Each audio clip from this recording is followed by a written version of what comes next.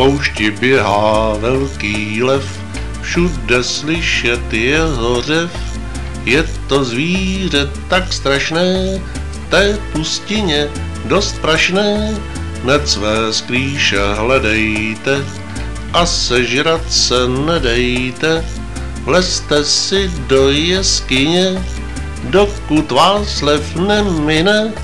Lev je králem zvířat, to je přírodní řád, že si najde oběť, co je jeho oběd.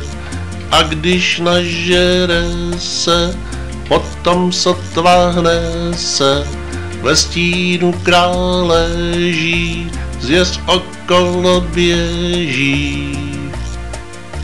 Jsou to světa zákony, není mírný jak pony, třeba se i hněvejme, zvěř pro něj jídlo zřejmé, tak jak zebra pase se, on vždy touží po mase, tak to je, co stojí svět, život někdy není med, lev je králem zvířat, to je přírodní řád, že si najde oběť, co je jeho oběd.